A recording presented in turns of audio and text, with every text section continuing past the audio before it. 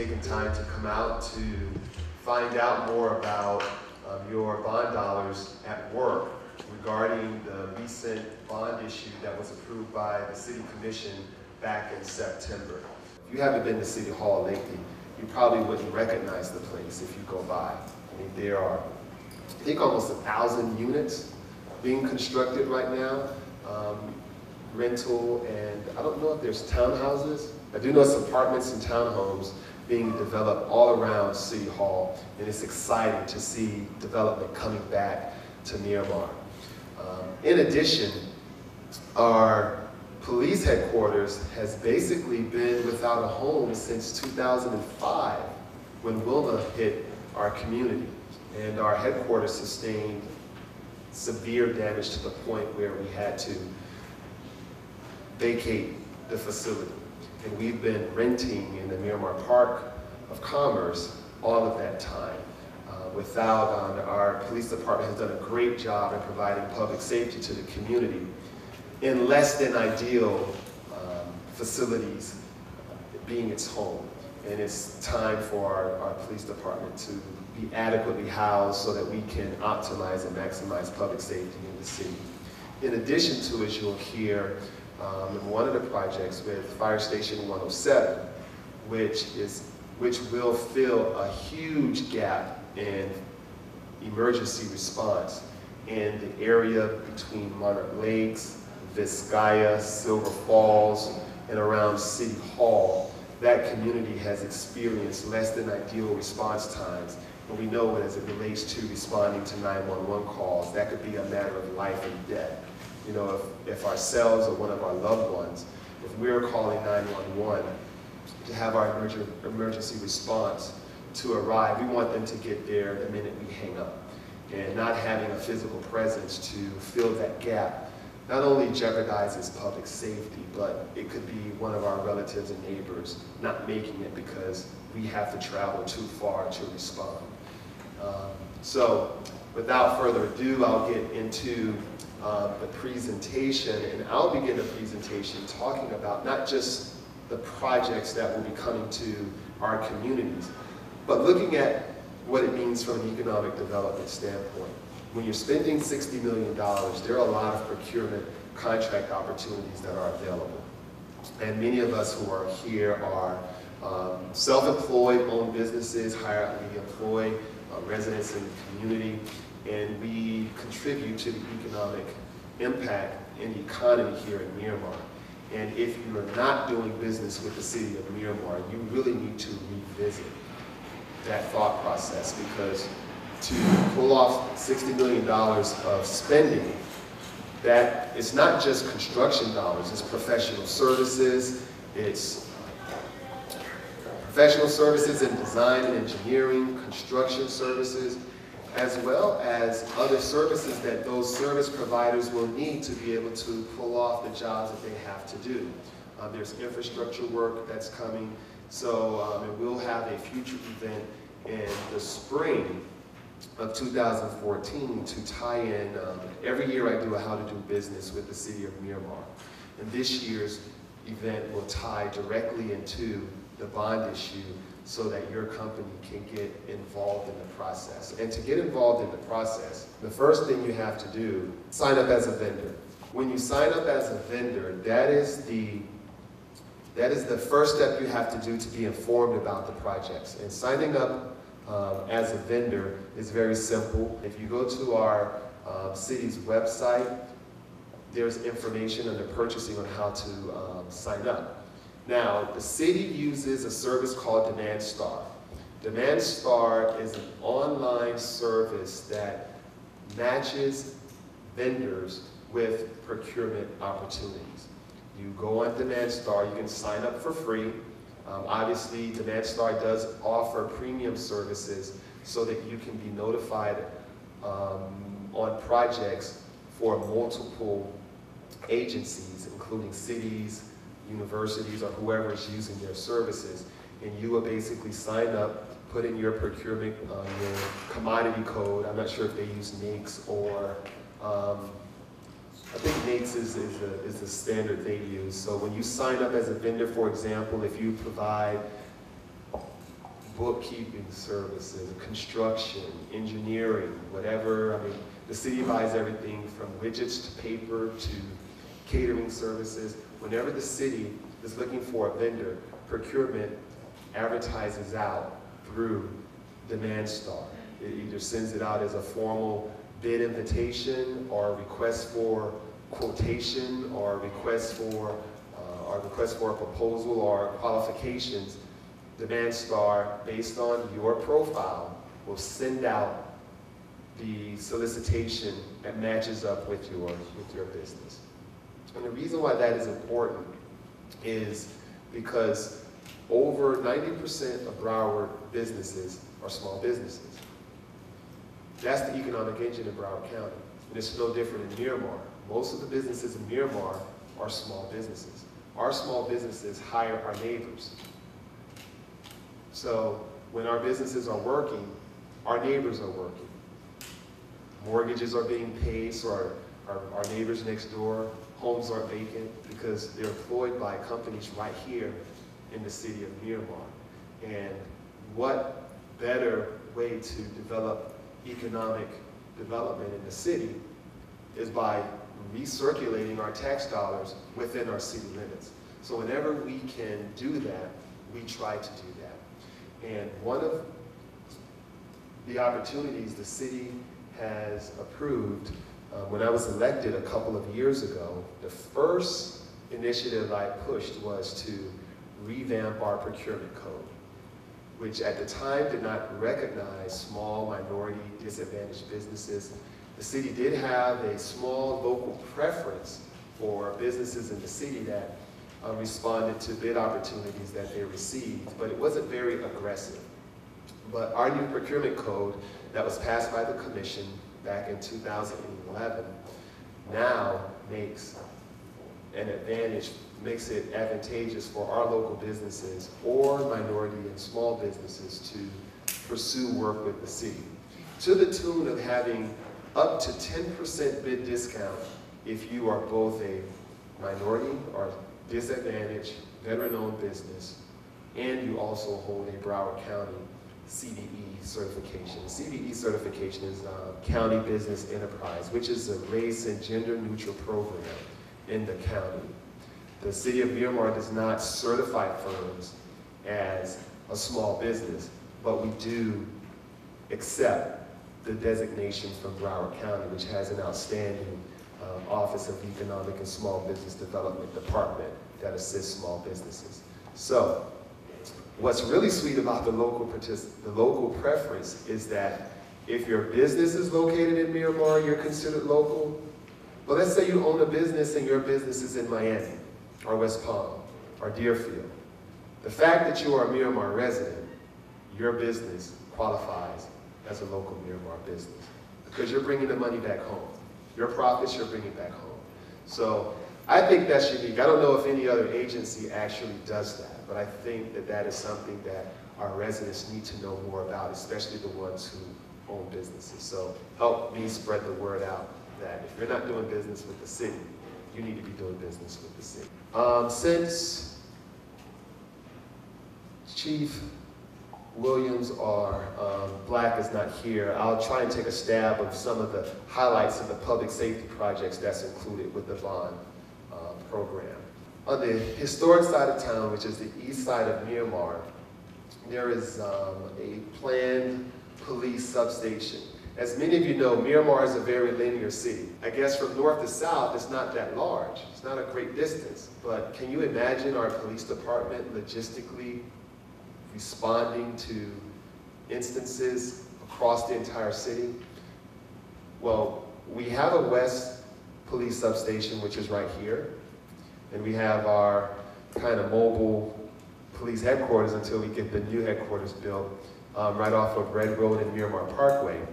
But on the east side, outside of our patrol officers that cover the area, there isn't a facility that the residents can go to or where um, our police officers can go in to do reports. I mean, they basically work, their offices, their patrol cars.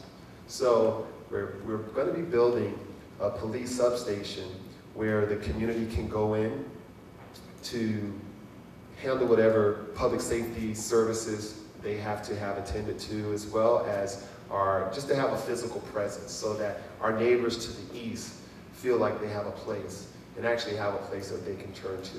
But this project is budgeted just under $3 million and two and a half of the 2.8 is coming from the bond.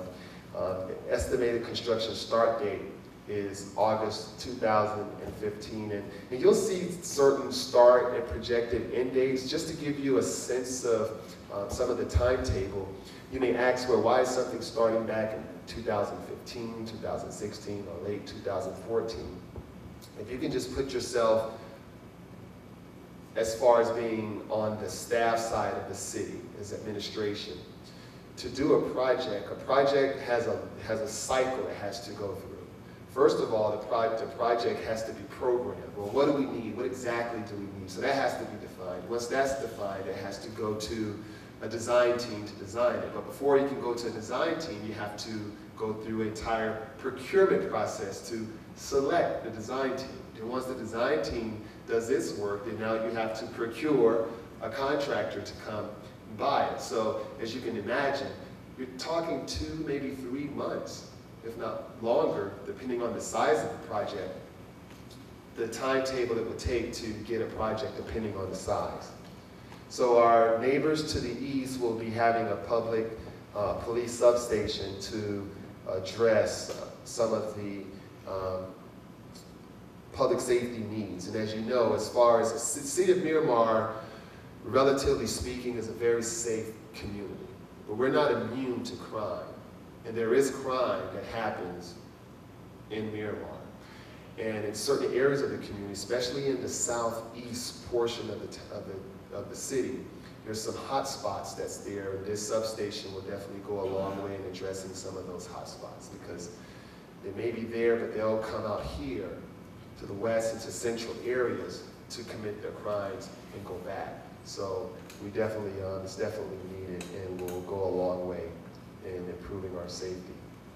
Um, another project in historic Miramar is a lighting project at Fairway Park. Um, you may not necessarily be familiar with this park, uh, but it's a very nice neighborhood park. And I encourage uh, residents who are um, who live on the west side, who may not necessarily venture out to the east. There's some nice facilities and nice parks out there, and I would um, encourage you to go on a weekend out to visit some of these um, locations. Shirley Branca Memorial Park, uh, there's a community band shell that's being uh, uh, proposed. Uh, in the in the media, it's, it's been labeled as an amphitheater. but It's actually a band shell. It's a formal structure where festivals, um, small concerts for um, that community can take place. And there'll be some improvements to uh, the grading, the lighting, fencing, a marquee sign. I think there'll be some uh, renovations for um, the restroom facility.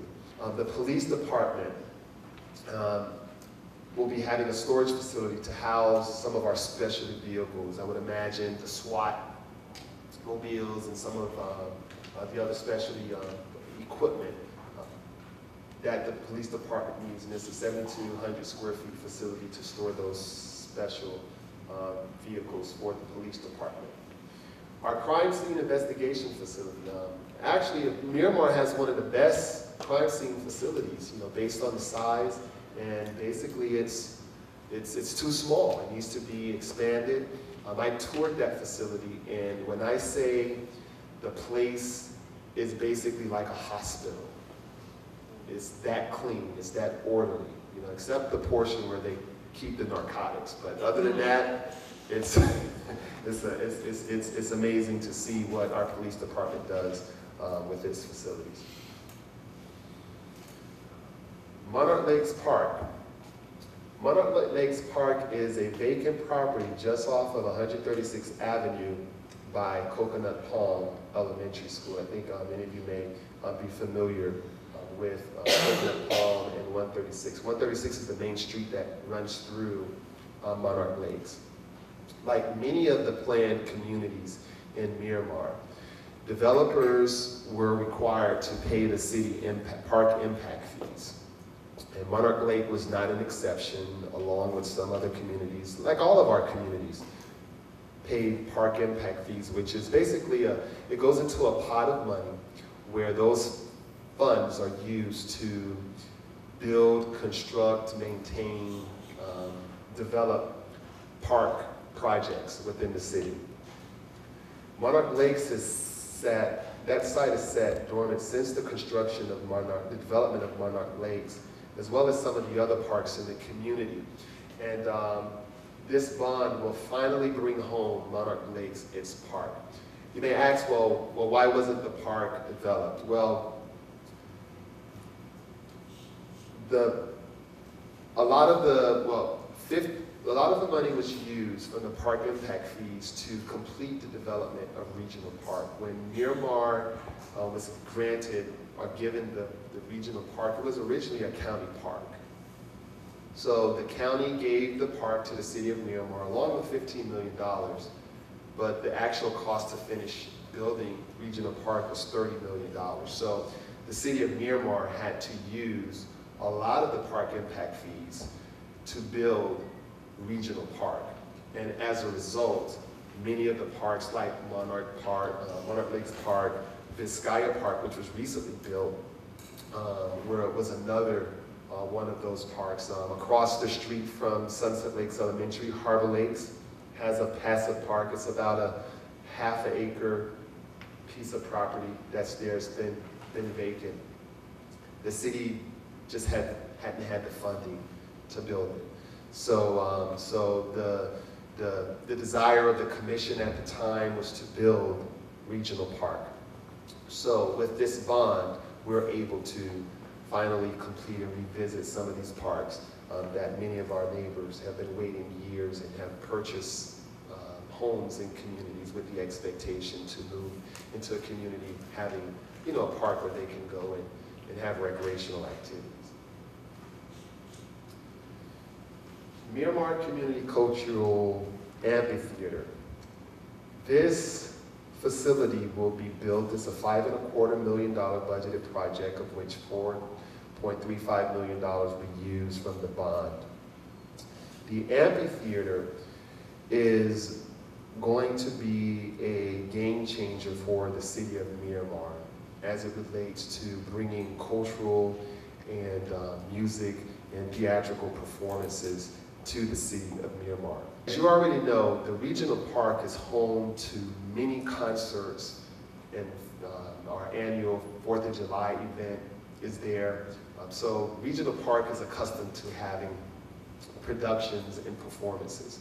When they've come into pass, the promoters have to bring in a mobile stage and other apparatus to make those events possible with the construction of the amphitheater, we now have a dedicated space and facility and structure that has already garnered demand from the world's largest producers like Live Nation and others who bring on some of the top acts um, to already begin to inquire about when it's completed, what you know amenities that they would need to be able to bring artists from your top you know, R&B artists, jazz, blues, country, you name it, this facility will be able to host it. The capacity is um, actually from three, three to 5,000.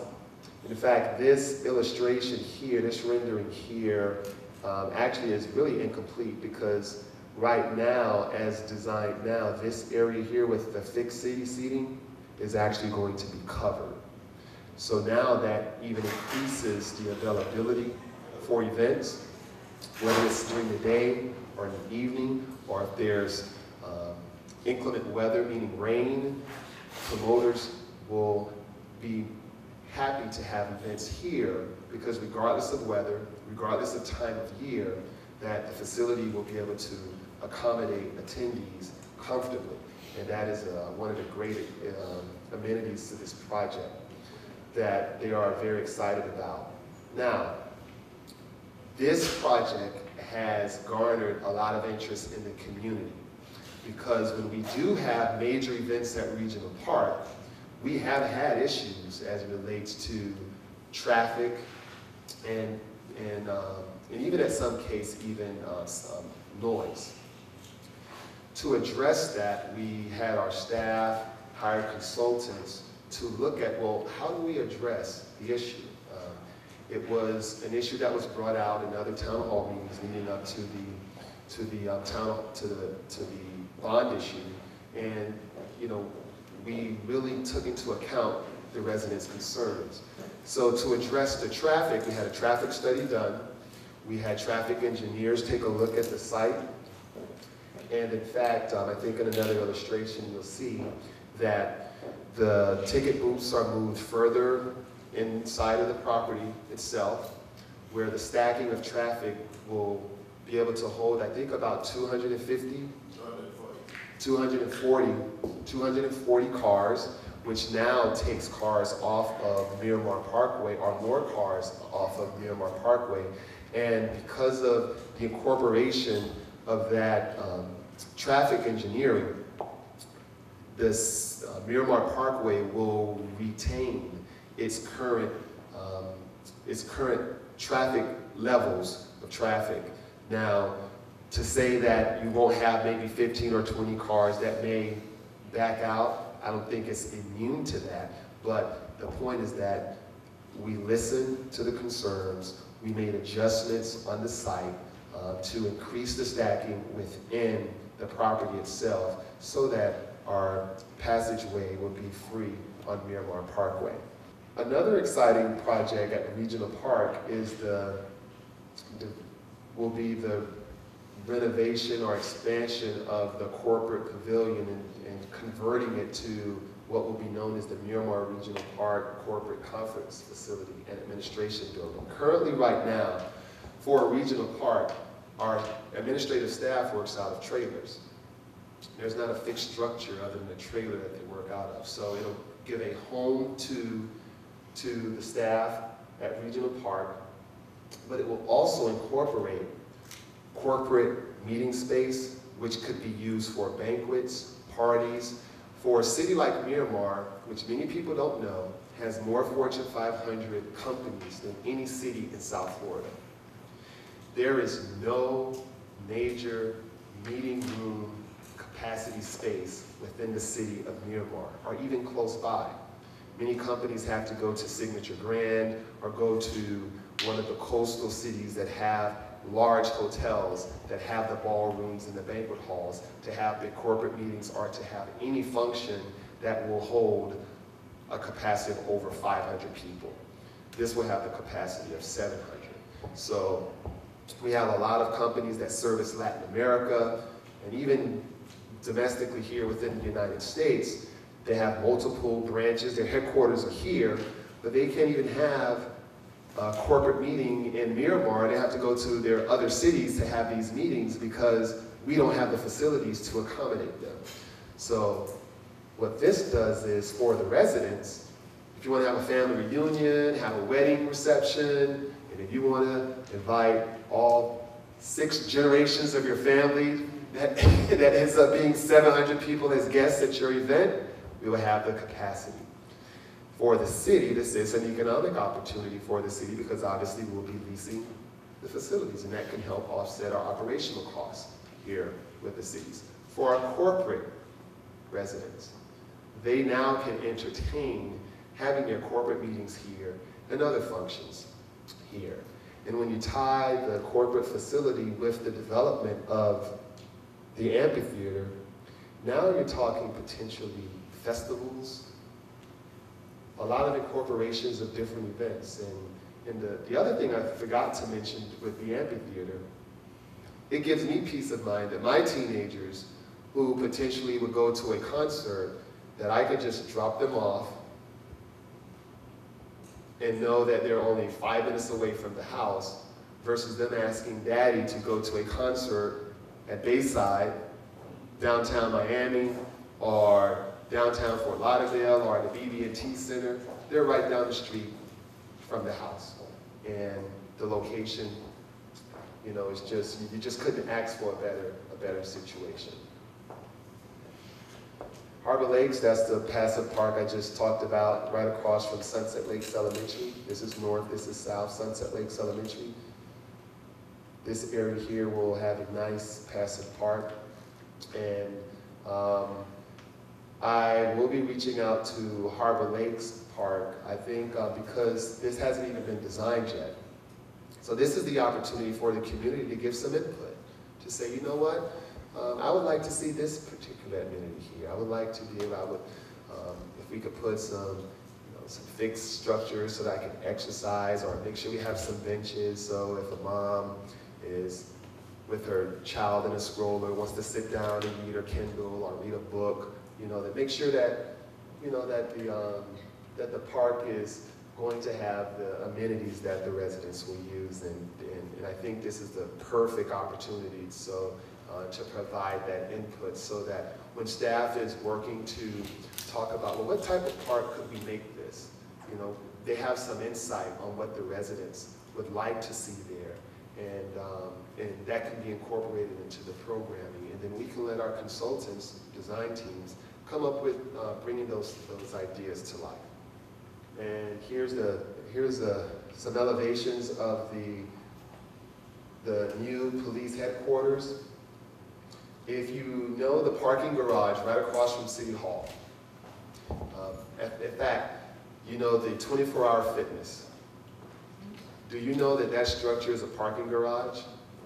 Many people don't know that structure is actually a parking garage. 24-hour fitness, um, the office space, the retail, uh, the first floor retail space, and there's actually even um, a residential component to that building.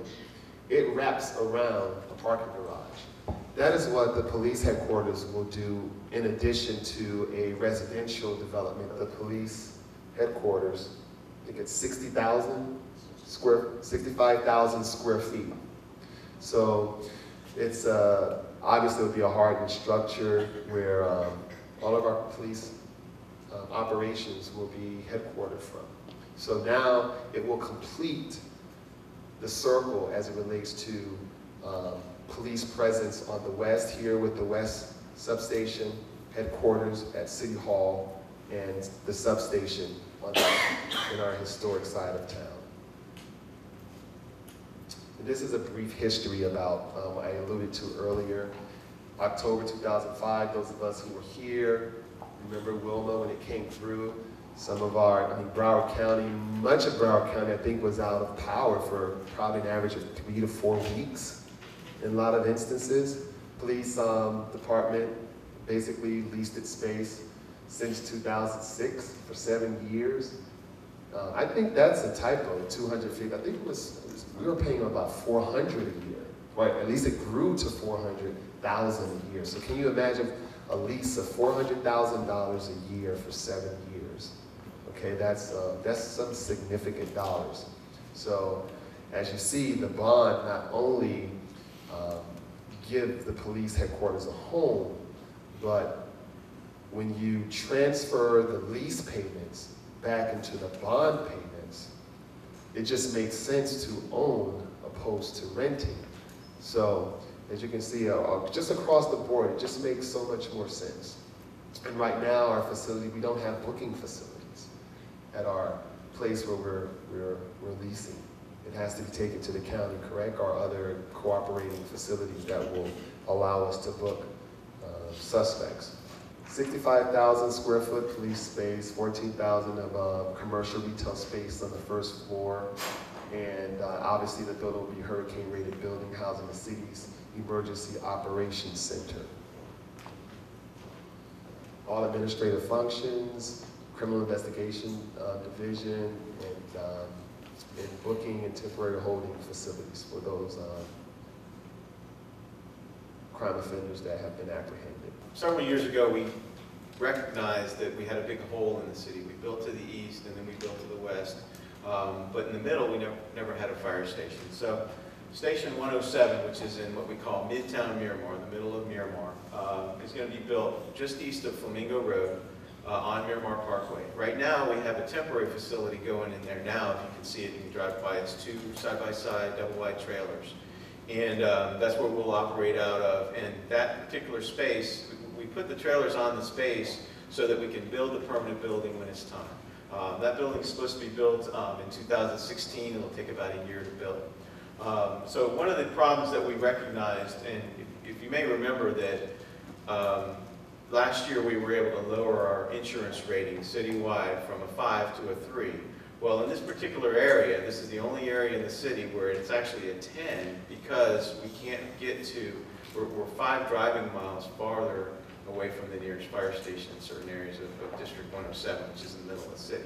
So Station 107 will actually address this problem and, and fix that and get those residents down to a three where they're supposed to be. Uh, This area currently runs about 1,400 calls, uh, and we, we're currently running um, the station now um, with an engine company. Uh, We hired, probably? Yeah. Uh, So here, here's the problem, as you can see, we built to the east, we built to the west, and that red circle in the middle is, is the problem area that we have right now. You can see we really didn't have coverage. The circles indicate about a mile and a half perimeter around the closest fire station, which is the little red helmets. All right, so as I said, the station will be, be built about a half mile east of uh, Flamingo Road on Miramar Parkway.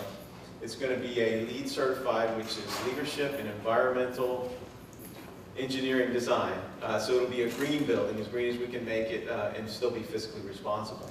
Um, it's going to be about 14,000 square feet. It'll be a four-bay station, uh, four apparatus bays, so there'll be four fire trucks to be able to park in there. Now, we won't be running four trucks out of there, but it gives us adequate storage uh, for the fire trucks um, when they're not in service, and when we put additional units in service during uh, hurricanes, we have a place, a safe place to keep them uh, and the firefighters while, you know, while we're waiting for the storm to pass. Um, You may also be aware that we, last year, or this year, we received a grant to hire 12 firefighters from the federal government. We had a really nice ceremony last month. Um, trained them all, we came out here um, and um, and gave them all their badges, and and they're now working, and they're, that those personnel are are being used to staff the current engine company that's that's running in District 107. Uh, Right now, they're running out of our logistics facility, which is across the street. Um, But when we get the temporary facility open, they'll be able to, uh, to work out of there. The economic impact of building the building and hiring the firefighters is about 9.36 million, which is a pretty significant impact uh, for a particular area. So this is a picture, uh, you know, an artist rendering of the station. As you can see, it's going to look pretty much exactly like Station 70, which is the station on Miramar Parkway, just west of uh, Douglas Road. And again, it's four bays. It's got a little bit of a strange way to get in and out of it, but it'll be a very nice station when it's built. Uh, Some of the features that this station will have, and all of our stations do have, is it has a vehicle exhaust uh, system. So what happens when the fire trucks go into the station, they're, they're diesel engines and they're, they're spewing out soot and exhaust. So what we have is we have these tubes that go on the exhaust system to draw that, that soot out of the building so the firefighters don't have to breathe it and it doesn't go into the fire station where they, you know, they breathe it for, you know, long careers, 30-year careers. Uh, The other thing that the uh, station will have is a, a gear cleaning area. So they have special machines that, when you come out of a fire, there's, you know, cyanide and all kinds of other things that are on the gear. So it allows us to clean that gear and not be exposed to it later on when you put it back on for the next fire.